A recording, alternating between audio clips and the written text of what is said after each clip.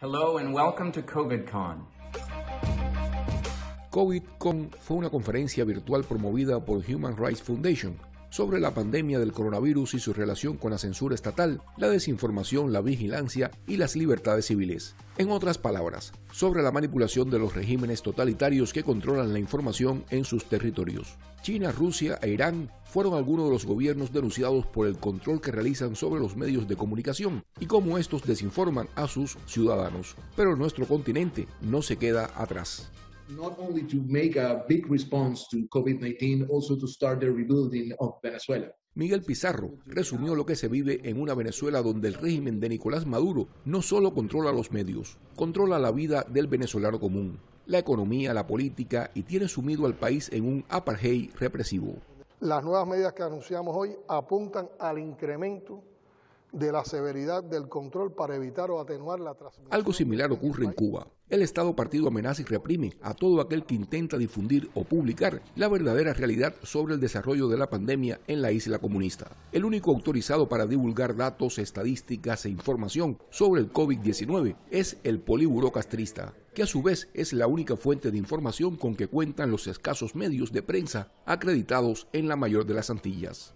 Uh, freedom of speech es imposible conocer la situación real en Wuhan por la censura impuesta sobre los medios de comunicación en China, afirmó el artista y activista Ai Weiwei, quien argumentó que en medio de la constante divulgación de noticias falsas diseminadas por el gobierno comunista chino, el mundo no sabe sobre la realidad de lo que ocurre en el gigante asiático.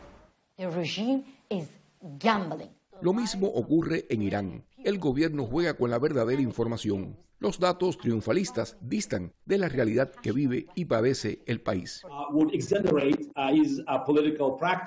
el ex campeón mundial de ajedrez fue otro de los participantes en la conferencia virtual. Su país, Rusia, es otro ejemplo de la manipulación de los regímenes tiránicos sobre el efecto y propagación del COVID-19.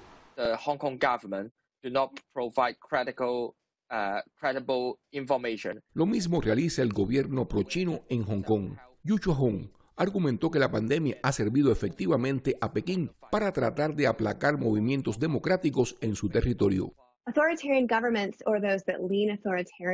Según la editora de la revista Foreign Policy, algo parecido está ocurriendo también en Europa del Este. Varios gobiernos de corte socialistas intentan centralizar la información y manipularla a su antojo.